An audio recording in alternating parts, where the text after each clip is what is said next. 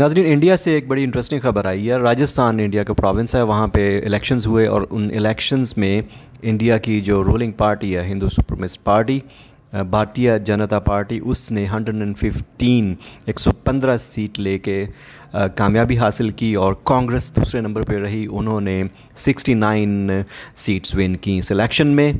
और इस इलेक्शन में विन के बाद जो बीजेपी के लीडर हैं I will show you in the video उन्होंने जो पहली इंस्ट्रक्शन जारी की, वो क्या थी? वो बड़ी इंटरेस्टिंग इंस्ट्रक्शंस हैं।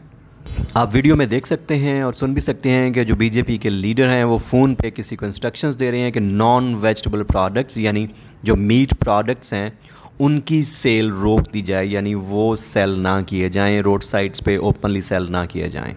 This is exactly what happens when a religious party whatever religion it is when a religious party comes to power वो आते ही ये करते हैं कि वो अपने रिलीजन को ले कर चलते हैं और बाकी माइनॉरिटीज़ की बात नहीं करते उनके राइट्स की बात नहीं करते और इंडिया में बीजेपी इसी रास्ते पे चल रही है पिछले दस सालों में इंडिया की उन्होंने जो एक मल्टी कल्चरल और सेकुलर आइडेंटिटी थी उसको ख़त्म कर दिया है और इंडिया को एक टोटली हिंदू राष्ट्र एक हिंदू सोसाइटी बनाने में लगे हुए हैं वो बड़े कोशिश से सारा कुछ कर रहे हैं।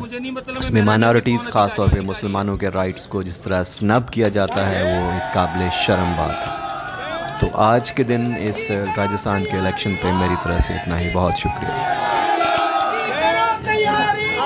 मैं आपसे शाम को रिपोर्ट लूँगा, आप मुझे देंगे या मेरे को आना पड़ेगा आपको लेकिन नॉन वेज रोड पे बेच सकते हैं क्या खुले में? मैं शाम को रिपोर्ट लूँगा, आपसे मुझे नहीं मतलब है मेहरानिया जी, कौन अधिकारी इतने भी ठेले रोड पे लगे हैं, रोड पे बना रहे हैं इनका? तुरंत प्रभाव से नॉन वेज के